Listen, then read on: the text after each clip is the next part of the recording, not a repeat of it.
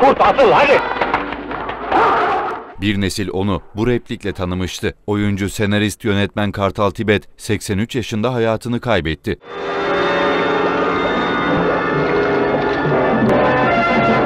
...1938 yılında Ankara'da dünyaya gelen Kartal Tibet... ...imza attığı 200'e yakın filmle Türk sinemasına büyük katkılarda bulundu.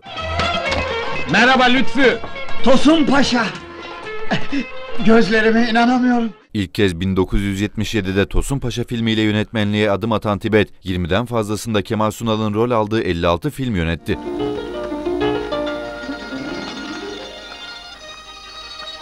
Buyur abi, buyur. Tibet son olarak 2006'da Dünyayı Kurtaran Adamın Oğlu ve Amerikalılar Karadeniz'de iki adlı filmlerin yönetmenliğini üstlenmişti. Bekleyin, biri daha geliyor. Bekleyin, Mustafa Kemal